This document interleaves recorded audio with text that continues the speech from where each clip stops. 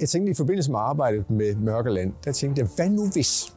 Hvad nu hvis det er de gode, dem med de pæne holdninger, dem der har bygget vores samfund op, dem vi stoler på, dem vi har stolt på. Hvad nu hvis de rent faktisk går hen og bliver de onde? Hvordan vil samfundet så se ud? Det prøvede jeg at tænke lidt videre på, og så skrev jeg en roman om det. Den hedder Mørkeland.